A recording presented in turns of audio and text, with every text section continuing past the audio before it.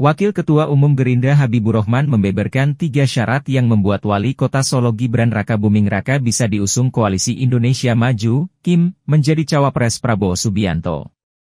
Pernyataan Habibur Rahman ini muncul setelah MK memperbolehkan seseorang sebagai presiden dan wakil presiden dengan syarat berpengalaman menjadi kepala daerah. Syarat pertama kata Habibur Rahman ialah memenuhi regulasi dan ini sudah teratasi. Kedua, menunggu persetujuan Kim dan Prabowo untuk mengusung putra sulung Presiden Joko Widodo, Jokowi, itu. Mengenai syarat yang kedua, Habibur Rahman berujar, hal tersebut akan didiskusikan dalam satu dua hari ini.